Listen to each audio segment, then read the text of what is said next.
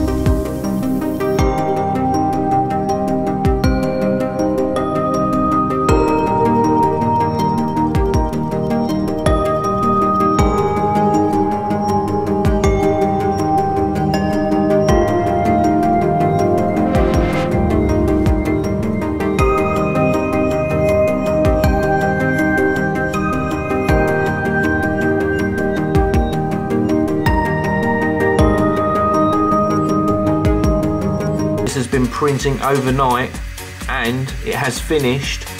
And look at the detail on this vase. It looks absolutely amazing. I'm almost speechless. I can't wait to get this removed from the printer and we'll take a closer look. We have had success. You can see the vase sitting up on the shelf behind me here.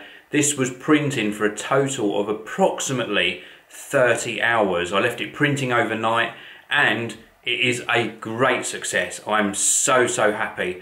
I'd be lying if I didn't say I was nervous throughout the whole print and I didn't sleep great last night because I'd left the printer going sort of unattended. But to wake up to this result is unbelievable. It really is. Let's take a closer look. Now this vase measures about 12 and a half centimetres in height and look inside, look, the fluted design. It is just unbelievably detailed and there's no rough pieces or anything. This is straight off of the printer.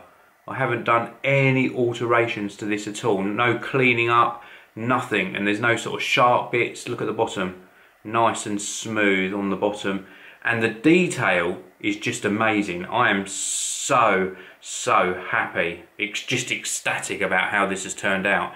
Now this particular vase is only my second print. So I wouldn't suggest that you try something quite this complicated for your second print but the reason I did this I explained at the beginning of the video is my wedding anniversary coming up. So this is going to form part of my gift to my wife along with some flowers of course and a nice meal.